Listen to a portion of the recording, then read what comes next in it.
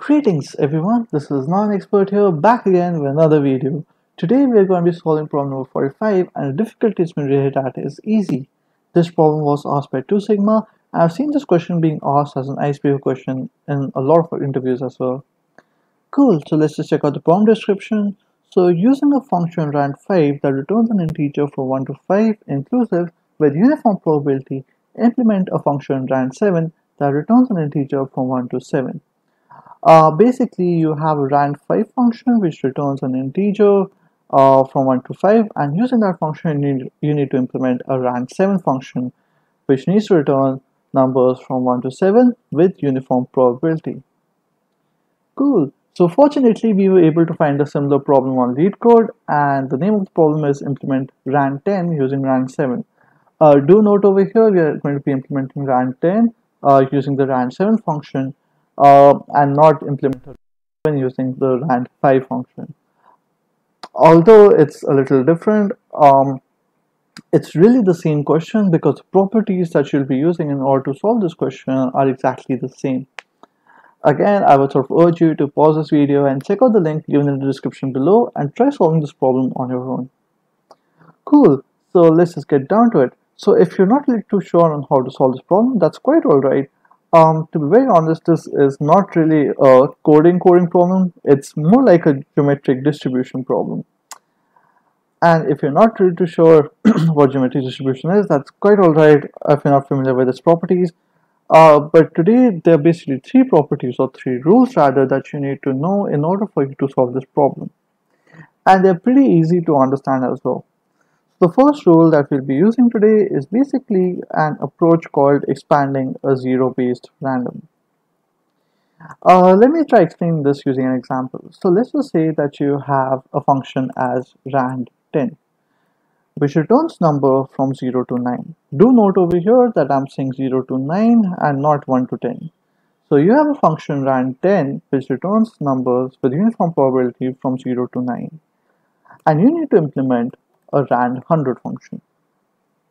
Now the way to sort of go about it is you can sort of use the rand 10 function in order for you to generate each digit.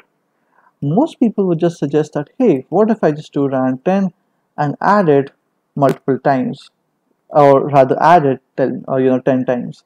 Uh, that's not really the uh, problem description because when you do that when you check out the uniform distribution it's not going to be uniformly distributed uh, or you can sort of think in this way that you know for you to get uh, the number 30 there would be multiple iterations multiple combinations and that'll screw up your entire probability right? It will not be uniformly distributed. So basically rand 100 obviously needs to return numbers from 0 to 99 and the way you can go about it is you can use the rand10 function in order to generate each digit.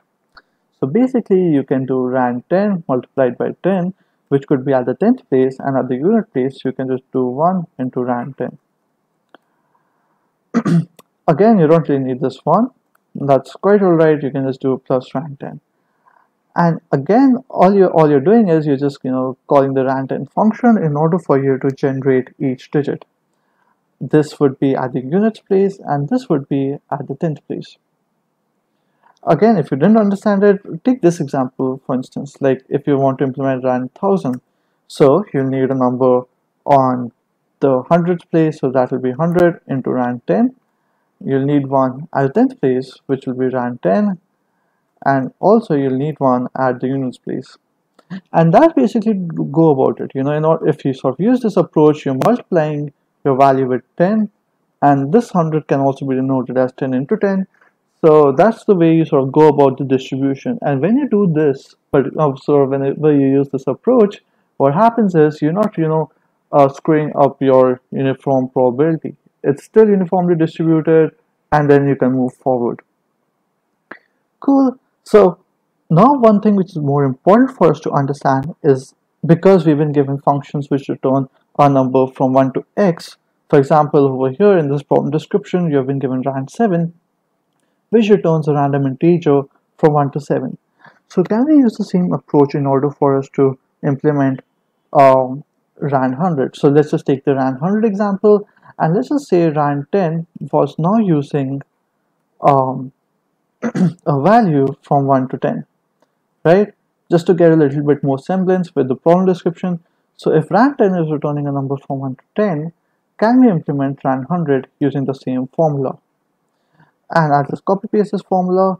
And to be very honest with you that's not really possible.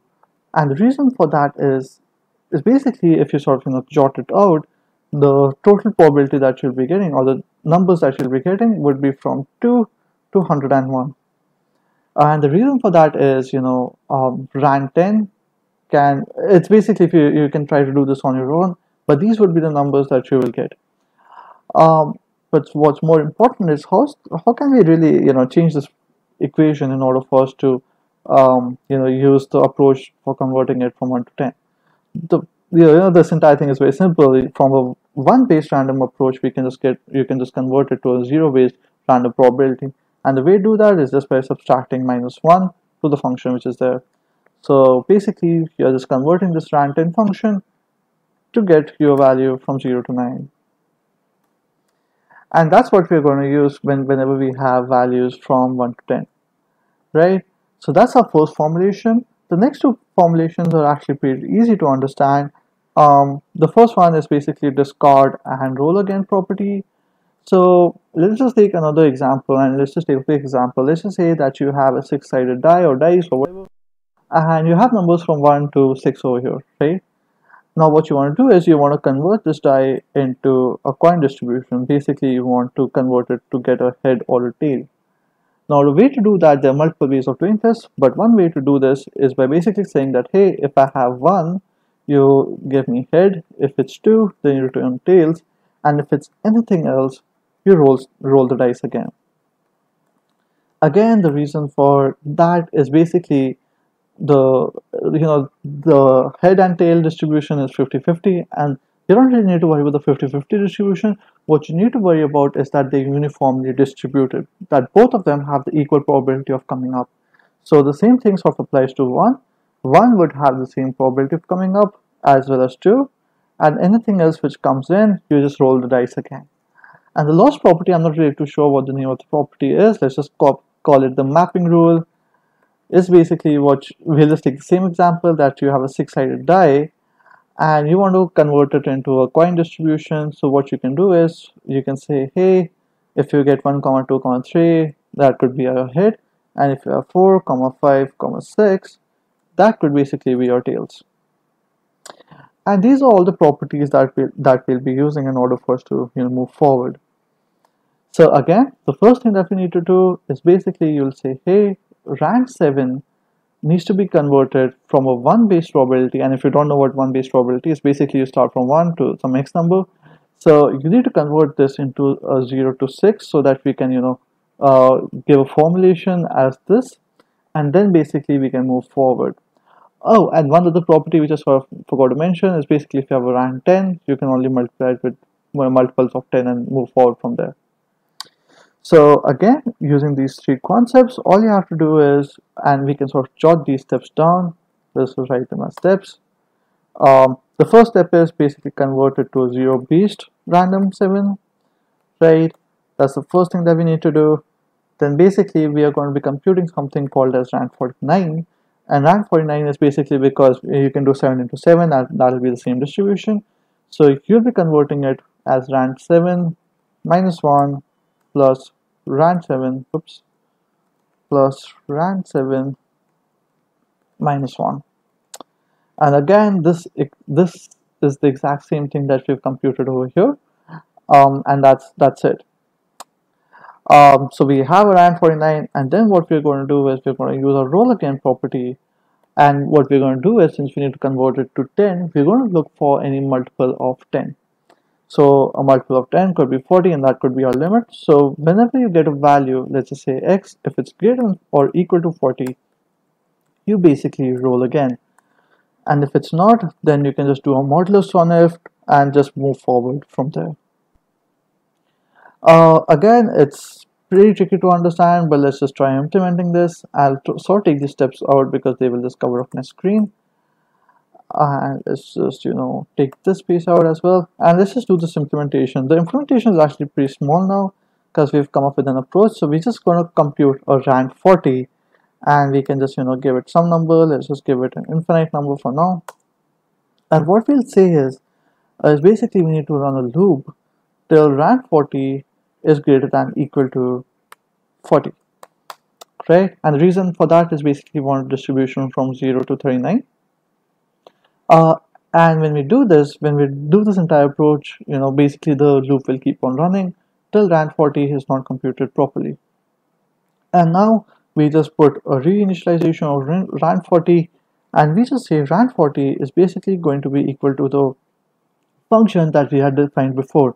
So since the probability is 7 um, we're going to do 7 into rand 7 so rand 7 minus 1 converting it to a zero based distribution and also for the next digit rand 7 minus 1 and what's going to happen is rand 40 is this loop is going to keep on running till rand 40 comes between 0 to 39 and when that happens all we need to do is we just need to return the probability accordingly. So we'll do a quick modulus of 10 because we need to you know, divide by 10 and then we just add with 1 the reason why we're adding it 1 is only because we need it from uh, 1 to 10 and not from 0 to 9 and this is the entire approach. Uh, you know there's nothing more here to it. And if you didn't understand what this is this is basically uh, we are just folding our 0 base random 40 to 1 base uh, random 10 and then we're moving forward from there. Cool. So let's just try running this and hopefully this should run fine Cool and awesome. You can see that's running fine. Um, it's the same exact solution and the output is coming as the same. Um, if you don't get the output as the same, that's quite all right. All you have to do is you just need to make sure that whatever number that you're generating, it has a uniform probability. And then you need to move forward from there. So this is running fine. Let's just submit the solution. Hopefully this should get submitted as well.